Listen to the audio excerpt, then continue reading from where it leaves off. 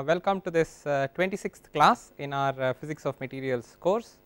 Um, in the uh, last few classes uh, we have looked at the Drude Sommerfeld model and tried to understand uh, what improvements it has over the Drude model. Specifically we were able to identify that you know there is a, a density of states expression that the Drude Sommerfeld model enables for us to generate and if you take that into account along with the Fermi Dirac statistics uh, which the Drude Sommerfeld model uh, um, uh, creates uh, I mean uh, uh, enforces on the system then we find that the picture of what is the distribution of electrons across energy levels changes quite significantly. So in this relation um, we made a couple of different plots so we will start with those two plots we basically said that we have the Fermi Dirac distribution that looks like this. This is energy. And this is uh, f of e. So, we have this and this is the E Fermi energy of the order of uh, say 2.5 electron volts. Uh, and uh, so this is the way uh, in which the uh, probability of occupancy is distributed. This is the probability of occupancy across various energy levels. And then we also have the density of states which gives us something like this. D of E as a function of E uh, looks like this. Uh, it goes as uh, e power half and so you see a distribution that looks like this. And then we have uh, the uh, density of occupancy.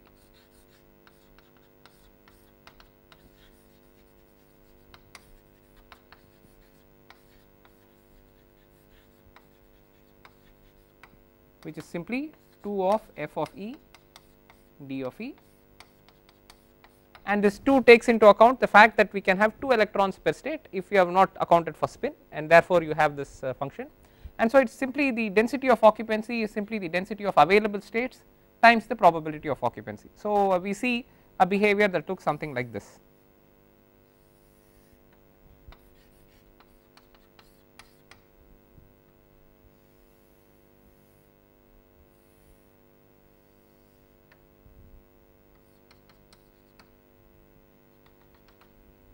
So, uh, that is how that would come and at higher temperatures this would just get modified to something that looks like this.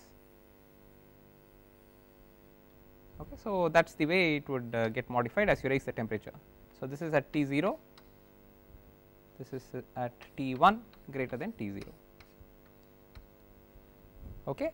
So, uh, these are the uh, uh, expressions that we have. Um, we use this n a bit often. So, uh, we have to just be a little cautious on what uh, we are referring to at each stage so that uh, we follow what is going on. so, we will start with the expressions actually for d of e and we also had an expression for the number of available states um, up to a certain energy level total number of available states. So, those expressions are as we have here we have n of e equals 1 by 6 pi square 2 m a square by h bar square to the power 3 by 2 e to the power 3 by 2. This is now the number of the total number of states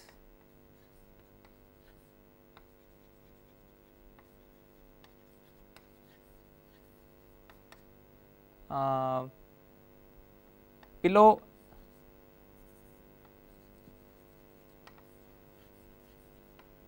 um, up to an energy E.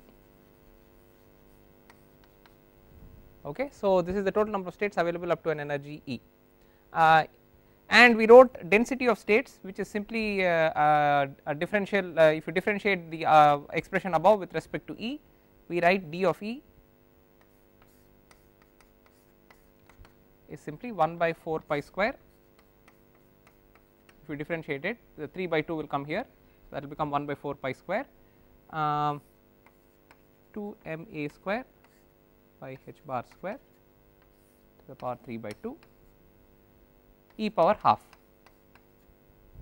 Okay, so, this is the uh, expressions we have for density of uh, uh, available states and the total number of available states uh, up to an energy E. Uh, incidentally, we can also pull this uh, this A is actually the extent of the system. we actually said that the we looked at a potential well of dimension A and that is how this A came about. So, if you if you say that that potential well is therefore the extent of the system so to speak uh, this a power a square power 3 by 2 will, will actually come out as a cube okay and that a cube is simply uh, if you want to extend this uh, system into 3 dimensions it is a, a, cube of volume A and you can think of it as, as though the uh, particle is now trapped within a cube of volume A. So that is the uh, manner in which we could look at this. So therefore the two expressions can actually now also be written as um, n of E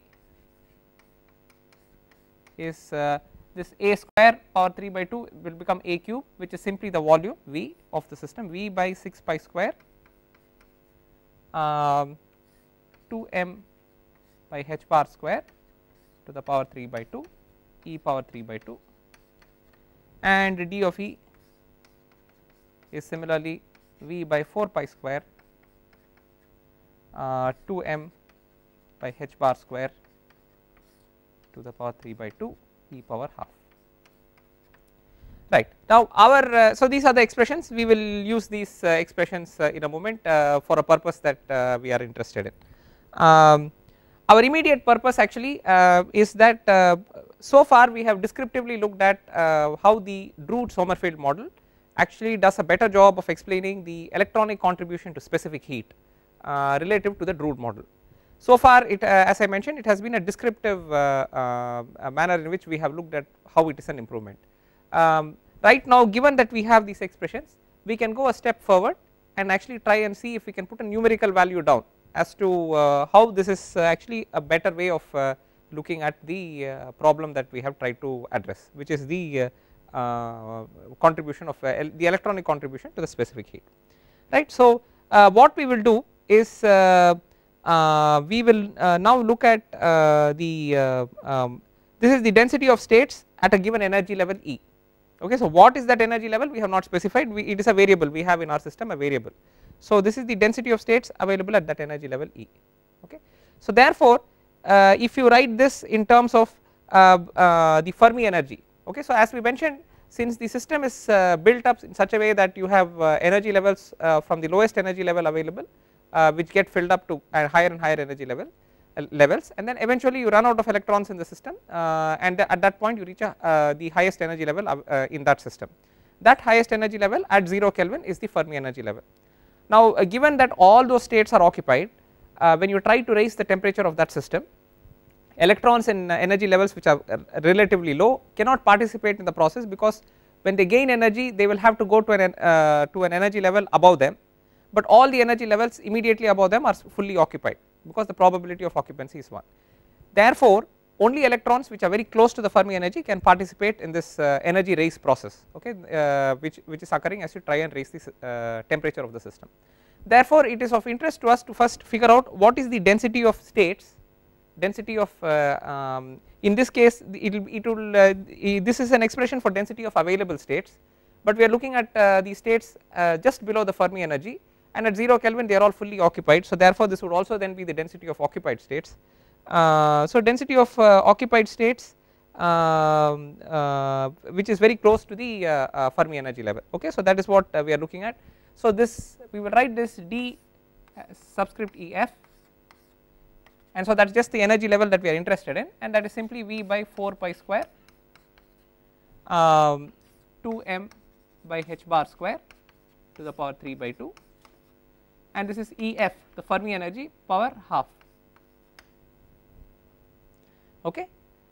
So this is the uh, uh, density of uh, um, available states very close to the Fermi energy and therefore uh, in fact if it is if you are talking of just below the Fermi energy then these are also the density of occupied states very close to the Fermi uh, energy okay. So uh, um, then we, we would also look at the we can also look at the expression for the total number of states that again was written with respect to a general energy that we had not specified.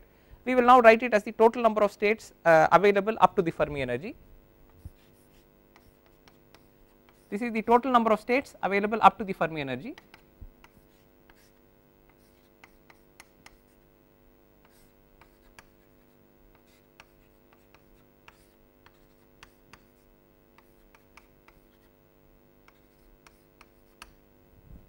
Okay so this is what we have. So we have an expression for total number of states available up to the Fermi energy and density of states at the Fermi energy right? So these are the two expressions we have uh, what we will do is, is, we are just trying to come up with an expression that is convenient for us uh, in, in our final uh, analysis of what is going to happen as you raise the temperature of the system. So given the expressions that we have that we have we are simply going to play with these expressions till we are able to reach something that is convenient for us to interpret uh, convenient uh, convenient for us to uh, demonstrate what is happening as you raise the temperature of the system okay and therefore uh, convenient for us to interpret. So we will just take a ratio of these many of these terms will therefore get cancelled. So if you write d of E of f divided by n of E of f.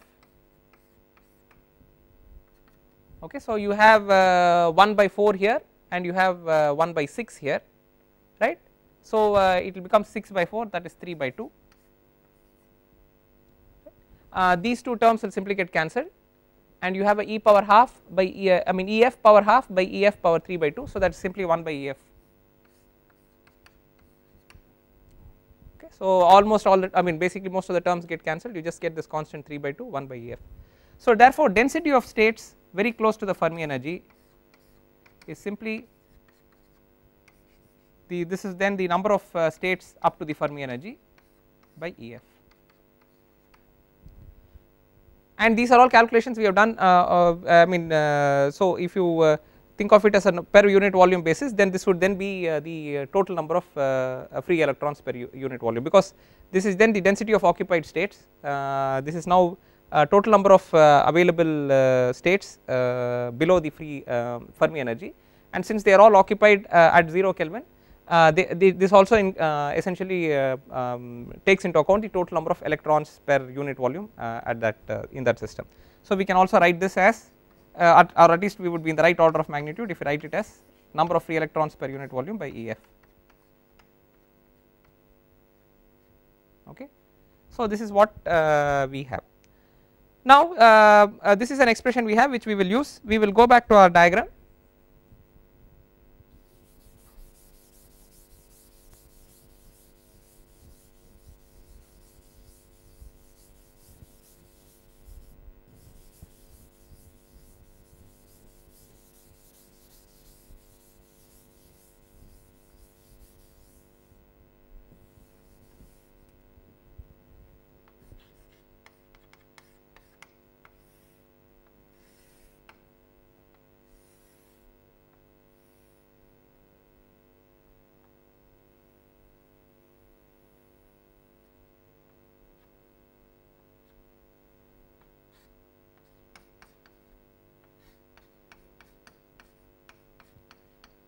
so uh, uh, the point uh, we we note this is energy of course.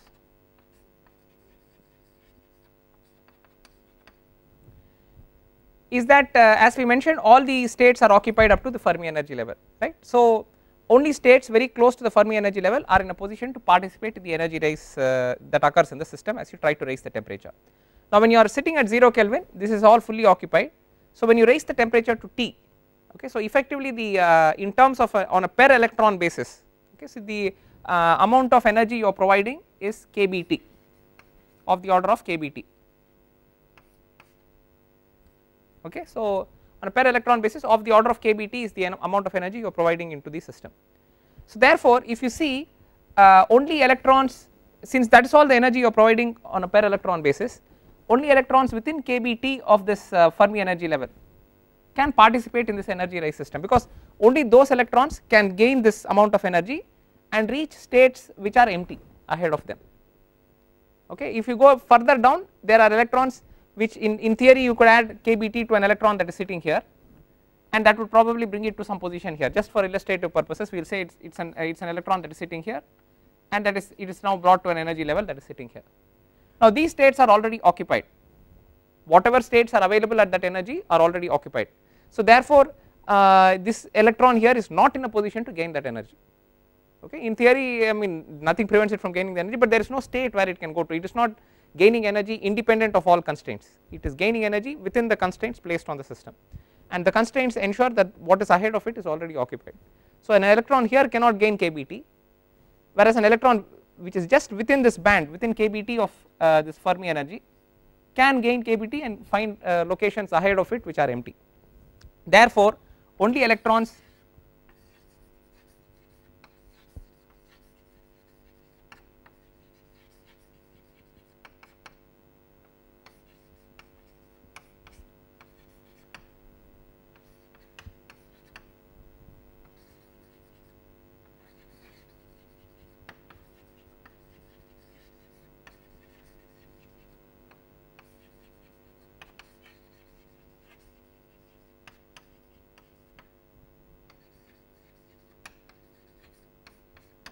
in our diagram here it is T1 but okay we will say say it uh, raised to a temperature T. Only electrons within kBt of the Fermi energy can uh, uh, gain energy when the temperature is raised uh, to T.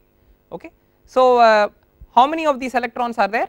To get an idea of that we simply have to look at the density of states which is very at the Fermi energy level and multiply it by kBt if you assume that the uh, if we make it we are making an approximation here that this drop off is not very severe see eventually this is uh, it is going to drop this way. Uh, the number of uh, energy levels is going to drop this way. So therefore the density of density of occupied states density of available states but it is probability of occupancy is 1 so density of occupied states is going to decrease. But we are saying that the kBt is a very small relatively small number and therefore uh, within kBt of the Fermi energy within this kBt of Fermi energy there is not a very significant drop in the density of states. So, the total number of uh, uh, electrons that can participate in this process uh, is the density of electrons available per unit energy at the Fermi energy times this kBt okay. So, therefore, number of electrons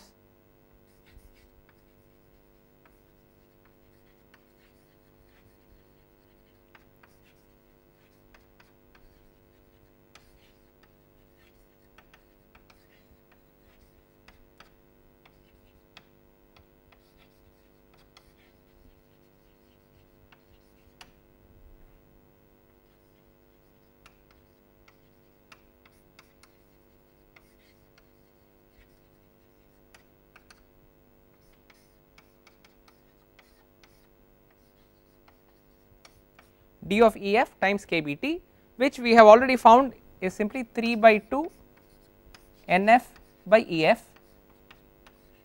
times kBt. So, this is now the number of electrons in the system uh, on a per unit volume basis if you want to say uh, which can now gain energy um, as a result of the rise in temperature okay. So, we have the kBt term already here but this is still this total term that here works out to uh, essentially is talking of the number of electrons that can participate uh, number of electrons per unit volume which can participate in this gain of energy as you raise the temperature uh, to a temperature T okay. So, KBT is the um, uh, width of the uh, uh, I mean is the range of energy values over which the electrons can gain energy. Now, we have already seen that the energy of an electron at a temperature T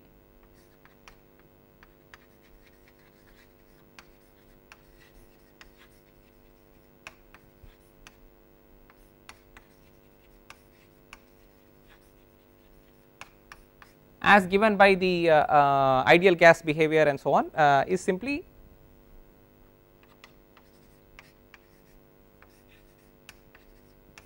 is simply 3 by 2 kBt. This is the energy associated with an electron. Actually energy associated with a particle at temperature T as given by the uh, classical uh, behavior, uh, but we are just assuming that you know the, the, only thing we have changed is the introduction of Fermi Dirac statistics and therefore and then the quantization, but Uh, in principle uh, we will assume that this is still the energy that uh, is associated with an electron uh, at temperature T. Therefore, the uh, gain in energy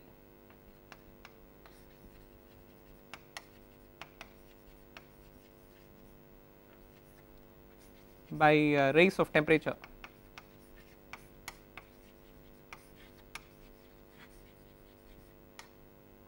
is equal to number of electrons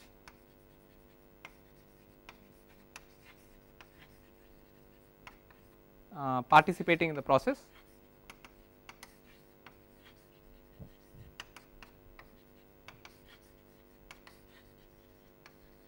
Times the uh, energy per electron energy gained per electron.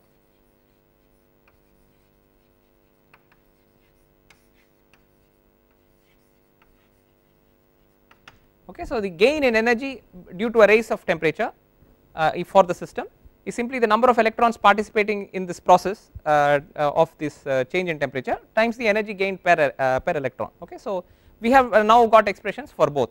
So this is simply equal to so if you want to write this this is E. Okay so this is the energy E. This is the number of electrons participating in the process that is 3 by 2 NF by EF times kBt that is the first term here number of electrons participating in the process times the electron uh, the energy gained per electron which is this 3 by 2 kBt.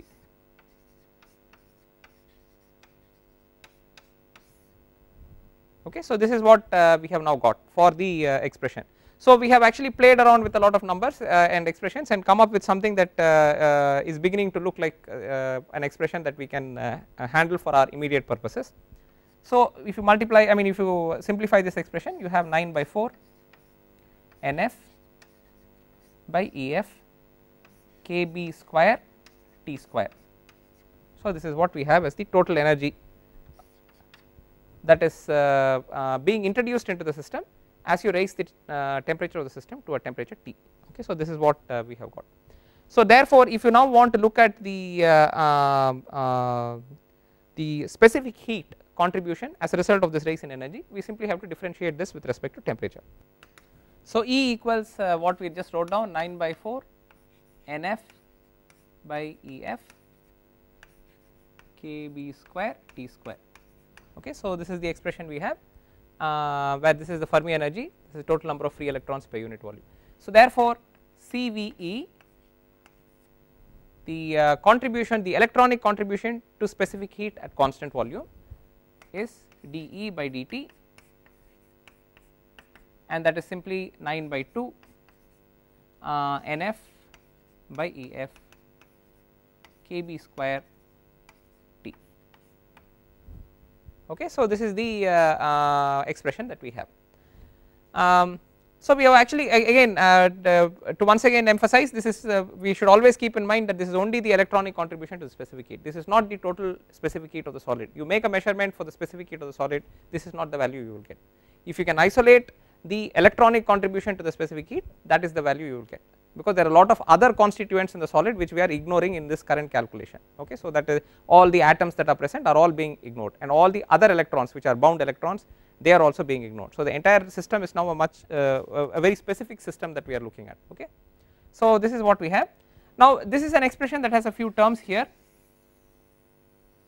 Uh, we will actually uh, simplify this a little further. Uh, we noted in the last class uh, specifically we looked at uh, Fermi energy, Fermi surface and Fermi temperature. These are all things that we discussed in, in our previous class. in that we specifically said that the Fermi energy EF can be equated to a Fermi temperature Tf with this expression.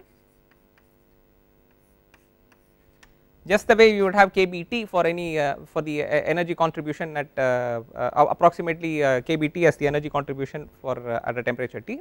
We will say that this energy can be equated to some temperature okay Tf. So that is this Tf. So therefore EF by kB is this temperature Fermi temperature Tf. Alright. Uh, if you look at our expression here we have the inverse of this. We have actually kb square we have but if you just take it as kb times kb we have a kb by ef here. Okay so a kb by ef and an another kbt is sitting there. So a kb by ef is there which is an inverse of this. So so we can replace kb by ef as 1 by tf. So this is simply cve is uh, 9 by 2 nf uh, kb t by tf okay 9 by 2 nf nf is still there. One of the kb's will still remain so nf kb will remain. Uh, this t is still here. So the other kb by ef is being replaced by 1 by tf so that is what we have got here. Okay so uh, so what we have here is the contribution to specific heat electronic contribution to specific heat is some constant number of free electrons per unit volume times the Boltzmann's constant times a ratio of uh, two temperatures. One is the temperature that the system is is at. So uh, so we have moved to so if you are talking of you know a few hundred kelvin that is the kind of temperature we are talking of here. And this is the Fermi temperature so Tf okay which is defined for a system. Now uh, when we also looked at the Fermi temperature um, okay we, ha we have some particular values for Fermi temperature. We will, we will uh, uh, look at that in just a moment. Uh, this, so this is the expression there are some approximations made in this. Uh, this is not uh, the most rigorous expression that you can get but in principle this is the expression that you will get with respect to the uh, Drude Sommerfeld model. A much more rigorous expression can be derived where some of these constants will change slightly but in principle this feature will show up. Okay so this uh, t by tf and other things will show up. So a much more rigorous expression can be de derived but uh, for our purposes this is uh, adequate. Um, so this is what we get from the Drude Sommerfeld model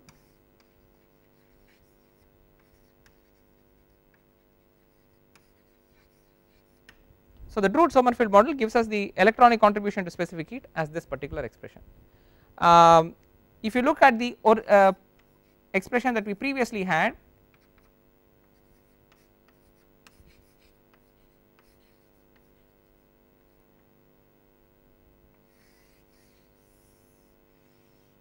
this was the expression for the specific heat at constant volume electronic contribution to specific heat at constant volume as predicted by the Drude model.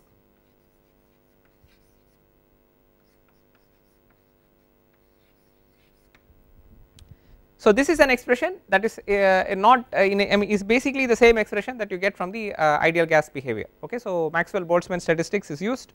Uh, if you use Maxwell Boltzmann statistics uh, then you are talking of uh, of an ideal gas a particle collection of particles that behave like an ideal gas and then this is the expression that you would get. And this is what we derived in one of our earlier classes.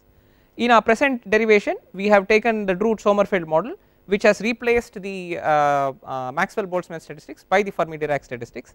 And then we have come up with a lot of uh, uh features associated with uh, that replacement.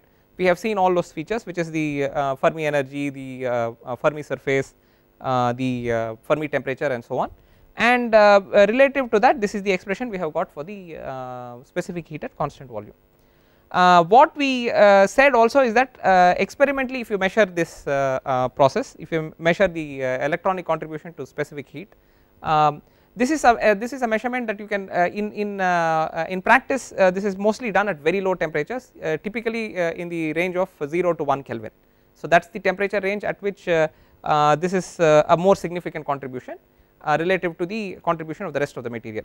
Even at much much higher temperatures this can become become a significant contribution but uh, uh, so in most intermediate range of temperatures that we will measure uh, you will only see the uh, contribution of the other constituents of the solid in, in insignificant quantities.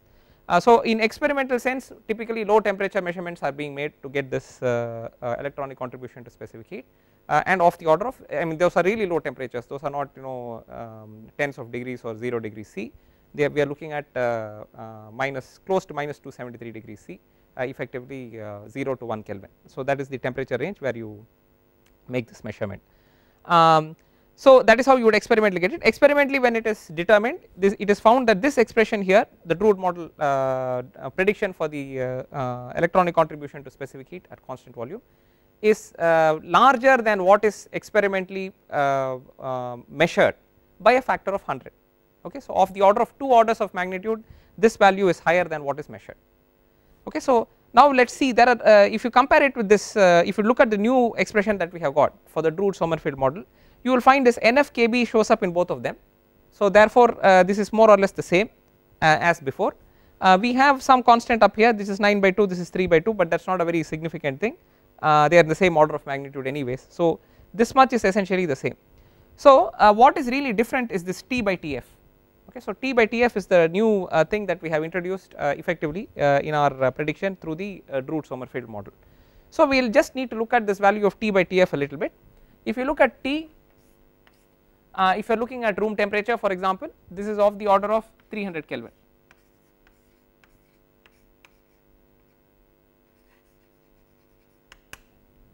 okay and Tf is the Fermi temperature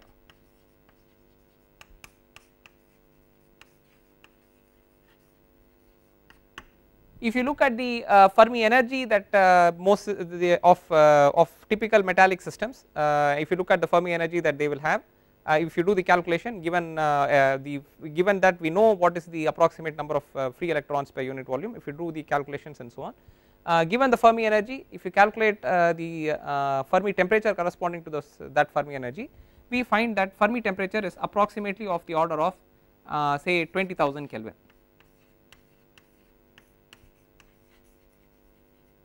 Of this order. Okay so 20000 kelvin is a is a uh, temperature that fermi temperature that uh, uh, that is um, that can be attributed to the fermi energy in in, in a typical metallic system. So if you simply take a ratio of these two so t by tf is therefore so this is uh, of the order of uh, ten, that is of the order of 10 power 2 this is of the order of 10 power 4 so this is of the order of 10 power minus 2 okay?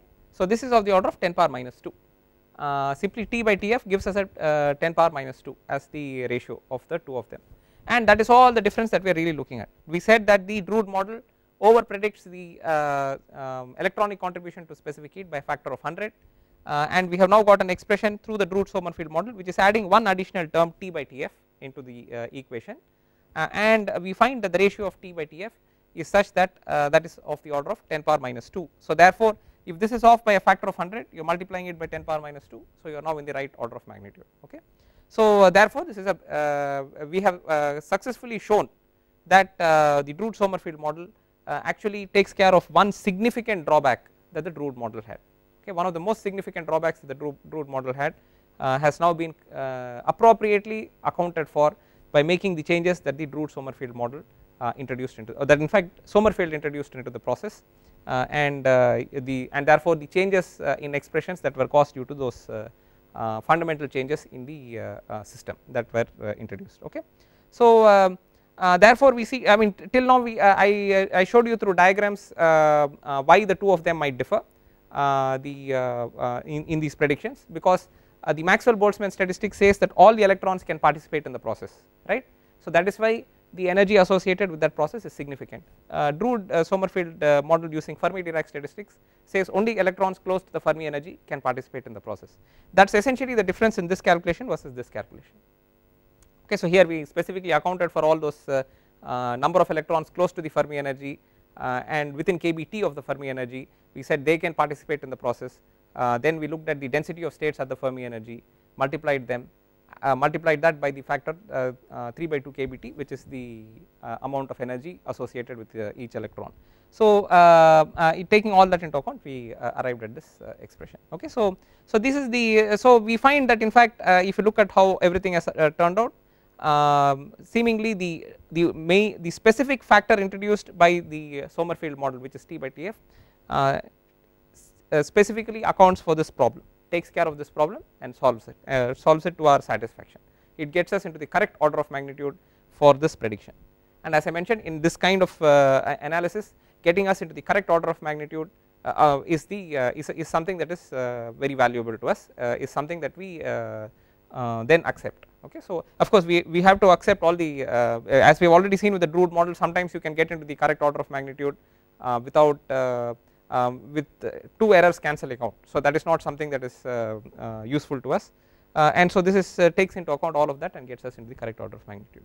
So once again I will just highlight this fact that when we, we I mentioned this earlier this is a very large number 20,000 Kelvin.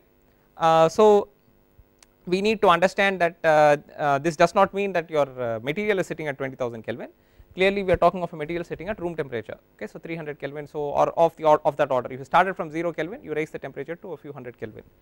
Uh, we are simply saying that uh, in in that material you have a lot of atoms you have a lot of electrons that are bound to those atoms.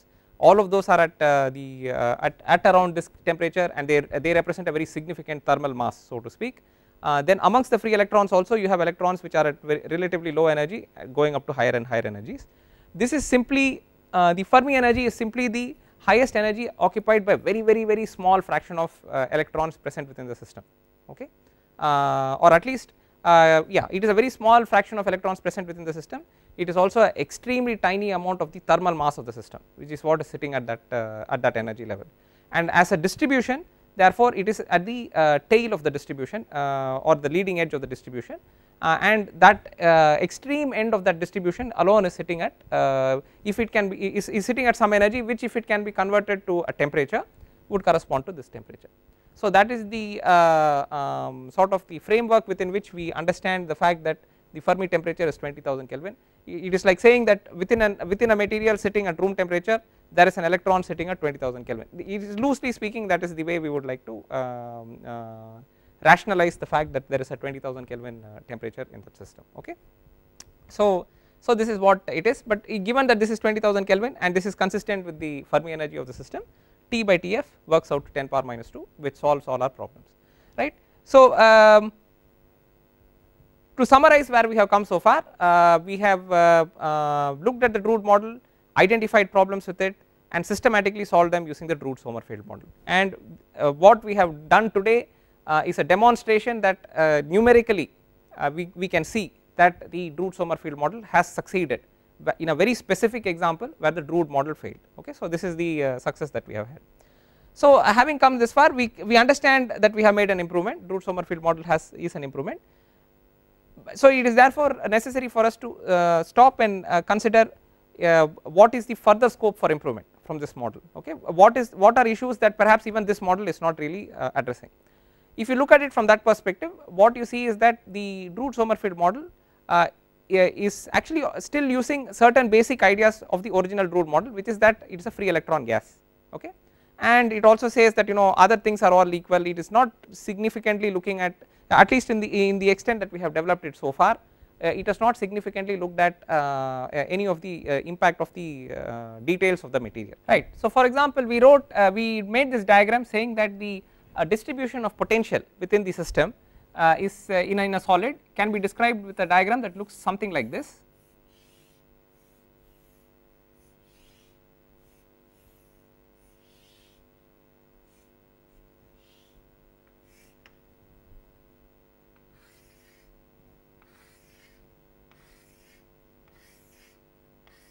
So, this would be energy, this would be position and this is, these are the positions of the ionic cores. So, these are the x coordinates of those ionic cores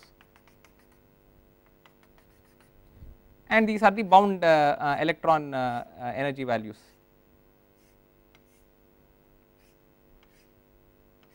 Okay, so, this is what we have and this is what the Fermi energy is.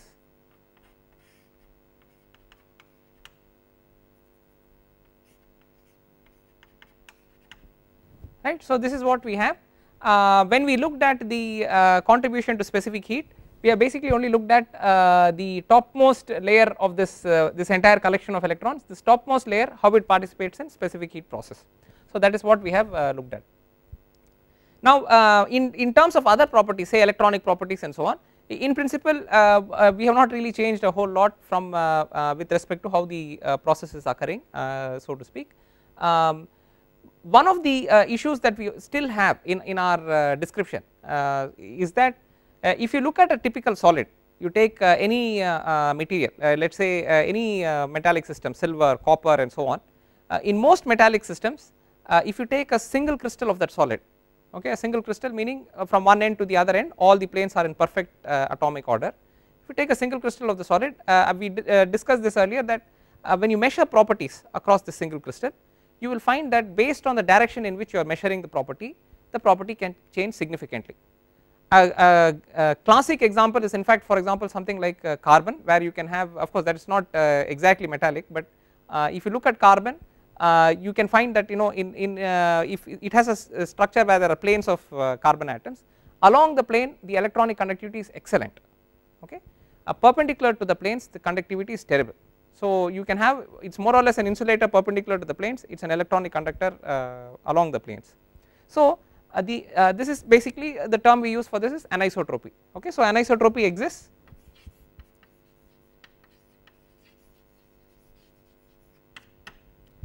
anisotropy exists in uh, many systems uh, and can be very glaringly uh, um, experienced or measured. So it is not uh, something that is very is, is not something that is just a subtle thing that a minor uh, correction that you need to throw in. You can uh, the property can change by several orders of magnitude depending on the direction in which you are measuring the property okay. So up until now the calculation that we have done calculations that we have done have in no way captured the directionality of the property okay. So nothing that we have done so far when we say number of free electrons per unit volume that number of free electrons per unit volume is the same regardless of which direction you are looking at because it is per on a per unit volume basis and the per, per unit volume has no uh, uh, direction associated with it right. So it is an NF is simply the same number the uh, Fermi temperature is the same temperature so to speak. So uh, um, well more specifically the NF is the same uh, value and uh, therefore uh, you do not really have any uh, variation in say the property from in based on which direction you are looking at. So uh, what is the uh, what uh, we need to consider for a moment what is it that is inherent to the material that dictates that one direction is different from another direction okay what is inherent to the material that is that dictates that any one direction is different from an another direction regardless of how it is different is something that we have to consider. The thing that differentiates between directions is the crystal structure.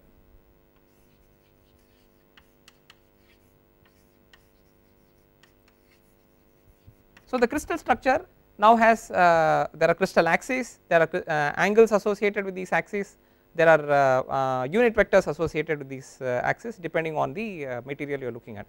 So that is a very specific structural information that exists about the system okay in our calculation so far we have not accounted for this structural information in any manner in our calculation so far strictly speaking okay. So if you go back to this diagram here uh, the uh, crystal structure information so to speak even in a one dimensional sense. We have uh, this diagram is drawn for a one dimensional uh, solid. Uh, we will assume that we are still talking of a one dimensional solid so that our analysis is then consistent with whatever we have done. But at the same time more and more details are incorporated into the analysis. In this one dimensional solid the crystal structure information so to speak comes from the uh, information on what is this spacing so to speak. Right? These are the ionic cores they are the ones that are sitting at those crystal lattice points right? So the crystal lattice is uh, is now uh, decorated with these particular atoms or if you want to call uh, if you want to call them as atoms or if not as ionic cores those ions are sitting at those specific lattice points. So the positions of these ionic cores uh, therefore uh, represents the uh, in this information the crystal structure in information. Alright.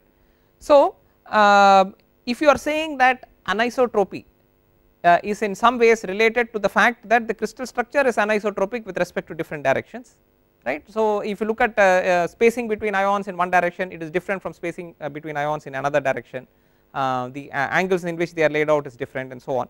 So if the, the spacing is different uh, and so on the that information is directly from the crystal structure which is directly being represented by these locations right. So therefore uh, one of the things that we have to understand is uh, what is the impact of these ionic cores sitting at these locations on the behavior of the electrons which are sitting up here right so far we have actually separated this picture. So far we have said that these are nearly free electrons which are free to roam through the solid. We have used uh, and mathematically incorporated that information in different ways. But we have basically said that these are nearly free electrons, they are free to run uh, across the extent of the solid. Uh, and these are bound electrons which are bound to those ionic cores. These are the energy levels corresponding to those bound electrons bound to these ionic cores. And we separated these two. We sort of said that this is independent behavior relative to all of this. Uh, in fact one of the assumptions that we made is that we kept saying that uh, the uh, potential is sort of uniform throughout the solid there is no interaction there is no um, we did not put in any detail for the interaction between these electrons and what the ionic cores in the system uh, provide the environment provided by those ionic cores okay. Uh, we simply said that we put in one averaged term for the resistive uh, forces that the electron experiences as it travels through the system. So we had actually neglected any impact of uh, these ionic cores on those free electrons right. So uh, of course as a, for a calculation that is fine you can always say that I am neglecting a certain effect and we are running a certain calculation and uh, to the extent that we neglected this we still have made very good predictions on a number of things several things we have predicted correctly even certain errors we made earlier on we have even corrected those. So therefore all that is fine.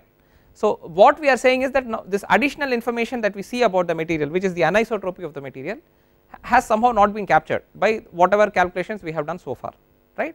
So uh, we find that that information comes from uh, is already there in this picture in the form of these ionic the locations of these ionic cores. So therefore uh, we understand that somehow the location of these ionic cores also impacts the behavior of these electrons okay. Uh, only thing is we have not actually incorporated that uh, uh, process we have not incorporated this detail into our system. So what we need to do is we need to understand uh, um, in, in a, and in our analysis since we are using the quantum mechanical description we can uh, think of the electrons as particles or as waves. Uh, we would like to understand what is the interaction of this uh, wave like behavior of electrons with this periodic structure of uh, ionic cores that is present uh, in the system okay. So, so this is the direction in which we will head in the next few classes.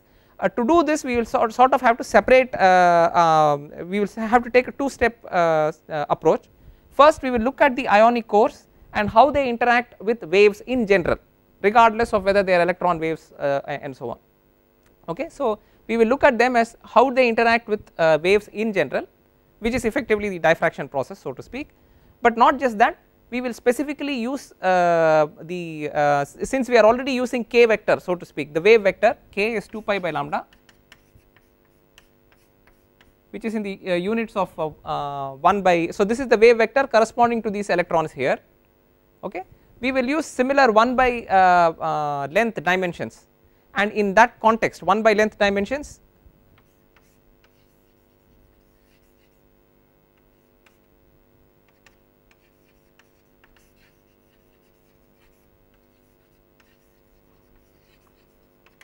1 by length is simply reciprocal of length okay. So we will look at the interaction of waves with ionic cores in a in a descriptive uh, uh, framework which consists of the reciprocal of length such a framework is referred to as reciprocal space.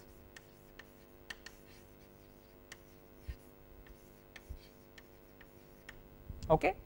In reciprocal space so we will develop this concept called reciprocal space. We will later relate it we will find how it relates to real space. So we will see reciprocal space as a separate entity. We will see how it relates to so that reciprocal space will now contain all this crystal structure information in reciprocal uh, uh, of length units we already understand how it might be in uh, real uh, length units. We in the uh, early uh, uh, crystallographic uh, courses that you would have done you would have seen that. So we already understand crystal structure in real space as we call it the normal xyz space. We will look at crystal structure and what it represents in reciprocal space. We will see how diffraction can be described in real space which we already understand and how the same description can be given to us in reciprocal space. So we will understand reciprocal space from those perspectives. So therefore we will understand the uh, uh manner in which the presence of ionic cores um, uh, impacts or interacts uh, with the with waves present in the system within the description given to us by the reciprocal space. So this we will learn as an independent process then we will relate uh, what we will do is having understood that as an independent process we will uh, we will take into account the fact that the electrons that are in the solid are showing us wave like behavior. Okay? And as far as the uh, as far as the uh, description of uh, the diffraction process is concerned or the interaction between waves and uh, the ionic cores is concerned it does not really matter where the wave is coming from whether it is being externally introduced into the system or it is something that is within the system. Therefore we will be able to extend our analysis of reciprocal space and diffractional processes within uh, from this framework uh, where we are just talking of uh, independent set of waves interacting with a periodic structure which is what we will find under reciprocal space. That description and that discussion and the results that we get there can be extended and directly incorporated into a situation where we are looking at the interaction of these waves with this periodic structure.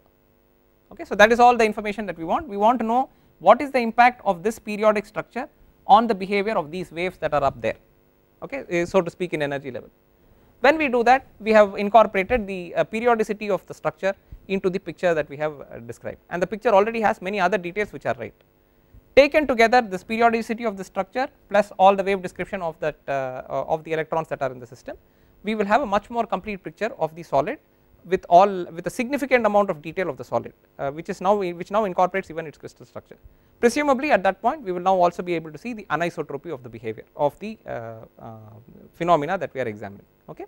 So therefore in the next class we will head off towards our discussion of reciprocal space uh, and it will it will look like a separate discussion at least initially till we come back and we put it back into this picture and add on add on all of these details and then see what is the impact of uh, the reciprocal structure on that uh, on the electrons that are moving okay. So it is in this direction that we will proceed before we get a uh, even better uh, even better and much more uh, improved uh, understanding of the system from a theoretical perspective okay. So we will halt here today and we will take it up in the next class thank you.